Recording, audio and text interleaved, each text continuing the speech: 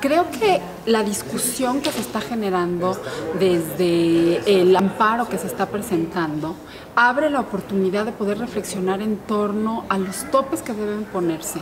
y los, los candados para evitar que la publicidad oficial se vuelva un mecanismo que controle